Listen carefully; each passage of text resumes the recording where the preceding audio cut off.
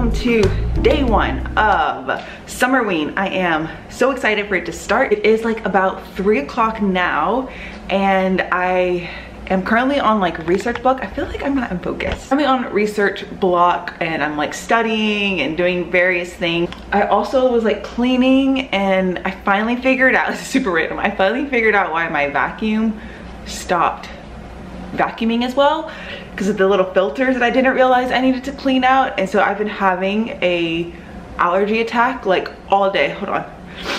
Oh God, that's why I look really rough right now. but I'm going to go and step out of the house now, go for a walk. I may stop by Walgreens. So I'm gonna go for a walk now we'll stop by the pharmacy and get some freaking allergy medicine because I'm all out. But I wanted to stop and do a little TBR of what we're going to be reading this Summerween. Um, we're going to be doing some Halloween decor hunting. I'm going to Michigan um, to visit my grandpa and my brother. So when I'm there, we're definitely gonna do a bunch of things, go to the movies and stuff, which I'm very excited about. Um, so these next couple days will be more chill. Let's talk about the TBR. So with the little thingy here, the first one I know for sure is there's one that's like read a manga, graphic novel or a novella. So for the novella, we're gonna go with We Can Never Leave This Place by Eric LaRocca. Um, I've read a couple things by him. One I enjoyed, one I didn't really care for, so I'm excited to get to this. It's a nice short little book. I have no idea what it's about, but I'm excited for it. For reading a thriller, I'm super excited to pick this one up. I'm going to do Behind Her Eyes by Sarah Pinborough. I am not the, the biggest fan of thrillers, like I can't tell you the last time I read a thriller. I have been saving this one on my shelves to read because it's like the one thriller I'm super interested in. I want to know this plot twist at the end. Um, so will definitely be one that will be read. And then there's one that's read orange and black on the cover. So I was thinking how to sell a haunted house by Grady Hendrix because I have been wanting to get to this. And I think this will be just a fun, like a fun time and I'm excited for. I know there's like lots of mixed things about this book, but I think if I go in it with the right expectations that it's more just like fun and campy and not take it that seriously, I think it'd be, be a good time. I think there's also a book that's like read a book set during fall time. I'm hoping one of these will fit that because I don't know what else I can do. then I was watching, as you saw, Books and Lala's video. Let me put this down. Uh, watching Books and Lala's recent video where she read like the different books to figure out her TBR and she mentioned how she's gonna read an anthology um, and I was like, oh, that's such a good idea. I'm gonna do that too, I think. I don't know if it's gonna fit any prompts, but I think that would be fun. So I can also try to get through an anthology. So the ones I have on my shelf, we have Cursed Bunny, which I have not read yet. Read yet. This is by Bora Chung, translated fiction. And then the other one I have is this one, which is Human Monsters, a horror anthology. Um, this one has 35 stories. This is a lot, but there's someone here I really do want to read because there's like a story by Stephen Graham Jones in this one. So we have these two and then let me make sure there's something else that I'm missing. And then I remember that I have this book that I bought. This is the Portable Edgar Allan Poe. So that has a bunch of his stories. So actually you know what I may do? Um, I may put this on my Instagram and be like, I want to read some stories from one of these throughout the Summerween.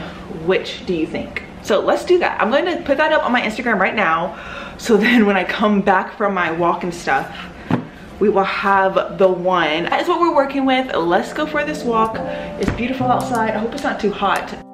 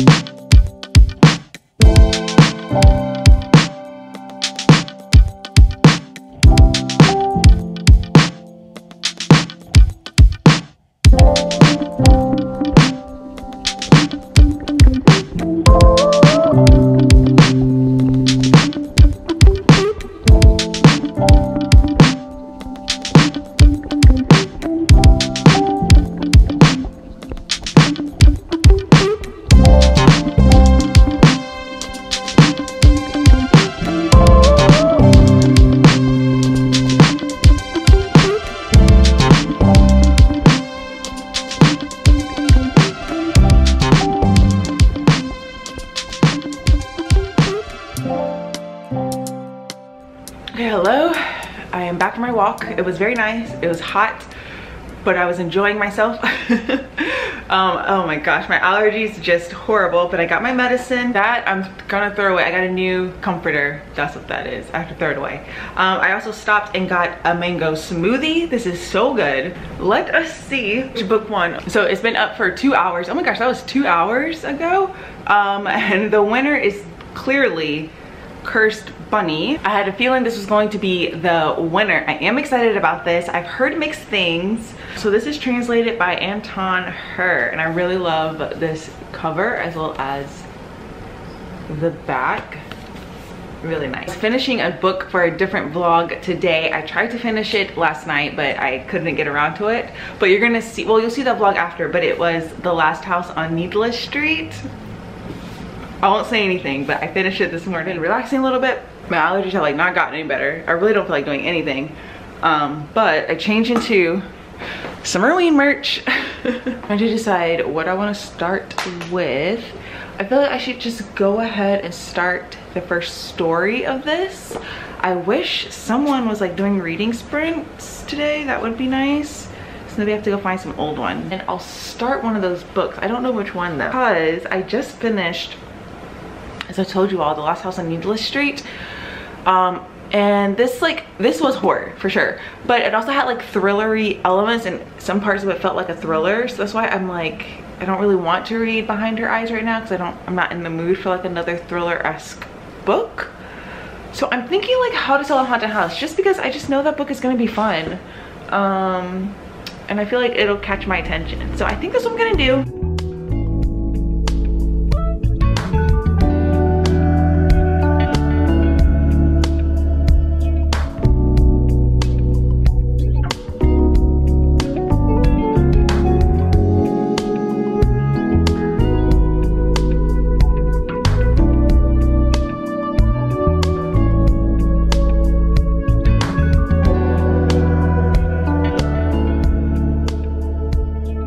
First story. It was very strange. The first one is the one that everyone talks about, about there being a head in the toilet. I mean, honestly, it was fine. I don't really have an opinion on it. um, I don't even know if I would rate it, honestly. Probably like a three, because it was perfectly fine. I think I'm going to, I think I made my decision that we are gonna read How to Sell a Haunted House, because I'm hoping that it'll just grasp my attention.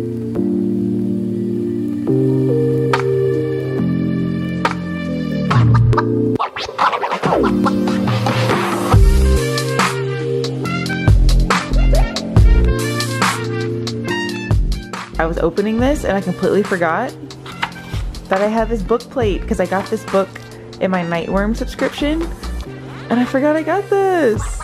That's exciting.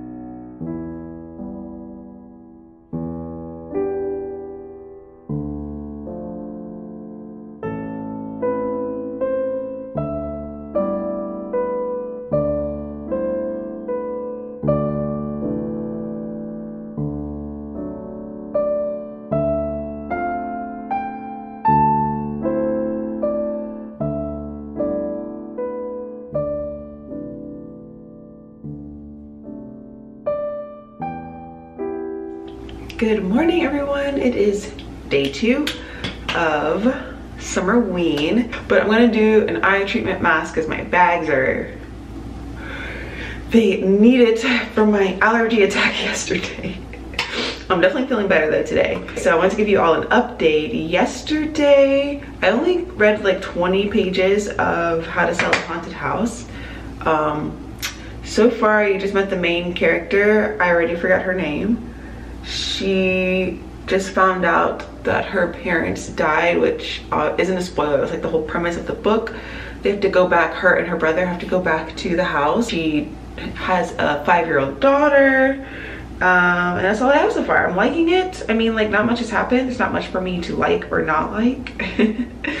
but Grady Hendrix's writing is just so easy. It is a very gloomy day. So it's like perfect for just sitting in and reading. Oh, and then last night I watched Evil Dead Rise. Um, just because I heard so many good things about it. And while it's not for me, like that kind of horror just just doesn't doesn't do anything for me. I don't know, it's just like so gory. I'm just like, it's just not my thing. But I will say it was, it was good. Like I can see objectively that it was a good horror film, I have to say. And it was filmed so well. Cinematography was like incredible. The lighting, there's some really beautiful shots. Um, and you could tell they really took their time and care. And they had a big budget for that movie because it was done really really well so i definitely recommend if you like that kind of horror so today's gonna be another chill day relaxing not doing much because i'm going to michigan tomorrow next weekend my best friend is coming to visit so i'm trying to enjoy my alone time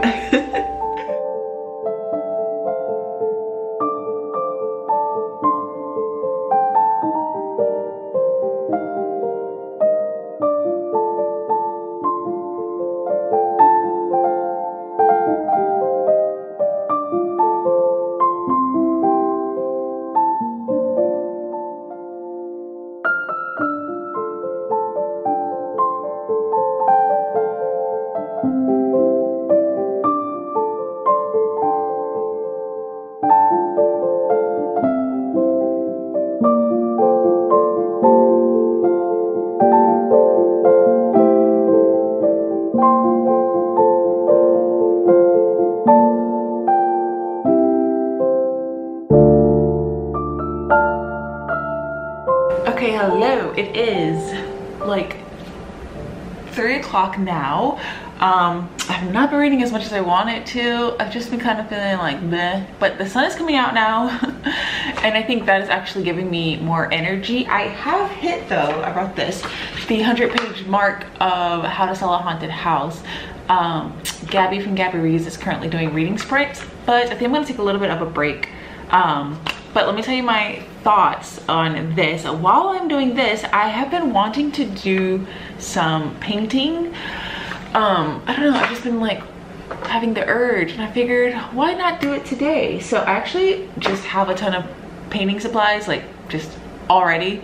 Um, so I'm just gonna get it all together and paint a little something. And I thought while I was painting, I could listen to an audiobook. So I tried to listen to the audiobook of How to Sell a Haunted House. I did not like it. I did not like the narrator's voice. She was doing like weird voices when like the mom was talking. I didn't like it. But I listened to a sample of We Can Never Leave This Place audiobook and I liked this narrator. So I think while I'm painting, I'm going to listen to this. It's only like two hours so maybe I'll be able to get through it. So while I'm getting together, let me tell you about how to sell a haunted house. Okay, I think I mentioned that you are following this brother and sister whose parents recently die and the sister is like going back to try to um like do the funeral and figure out the estate and all that stuff. The brother is a jerk He is such a jerk. Oh my gosh, for like no reason at all. I don't get it. And they do not get along at all.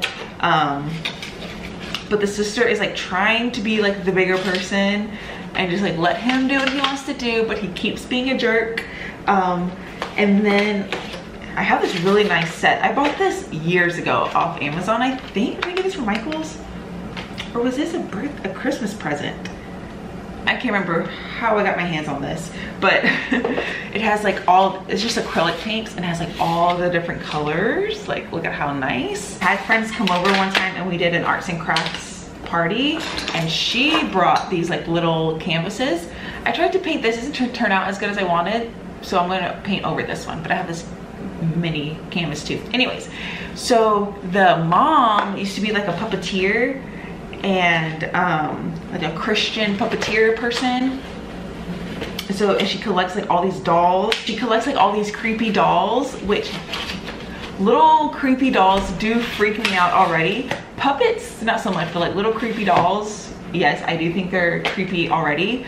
Um, so they're just like all over the house and there's just one in particular that the daughter does like not like and you're already having scenes of like the doll's like watching TV and she keeps turning off the TV but it keeps somehow coming back on and it is a little creepy.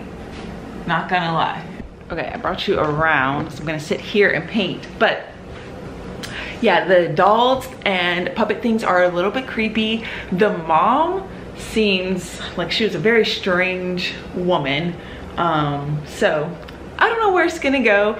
I do have to say I know a lot of people were like, it gets so ridiculous and I don't even know what's gonna happen, but I can see how like having this little like puppet thing coming after you, like how scary can that actually be, you know what I mean? um, but I'm liking it. It's really easy to read so far. Um, I have an idea for what I want to paint. I saw on Pinterest, wait, I saw on Pinterest these paintings of these like stormy ocean scenes. I'll put a thing here so you can see. Not, I don't want the quote on, on it or anything, but I kept seeing them and I kept like um, saving them. Like there's one with just like clouds on it. This one I really like with just like the ocean scene. Oh, I just really like it. So I'm gonna try to do something similar to that and then listen to my audiobook and we'll go from there.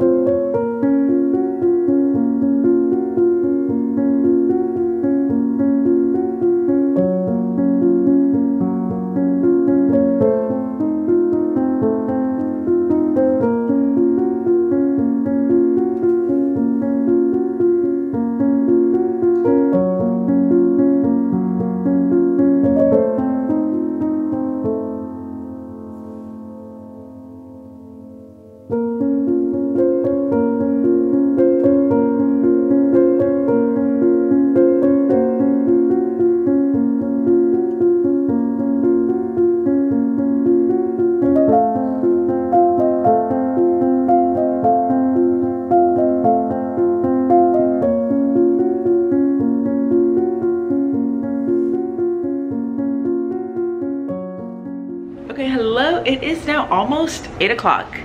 Um, I finished my painting. Oh, let me show you. I don't love it. I have this little like easel that um, came with whatever my friend bought. Like it's a good first try, but I definitely want to try again. But I do like it though. Like I feel like you get, you get what I was trying to do.